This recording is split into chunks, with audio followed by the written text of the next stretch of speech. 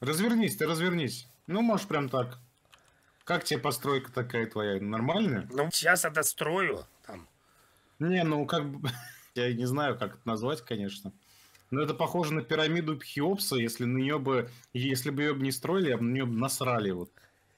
Примерно то же самое я чувствую. Как будто это насрали. Ты, сука, молчи.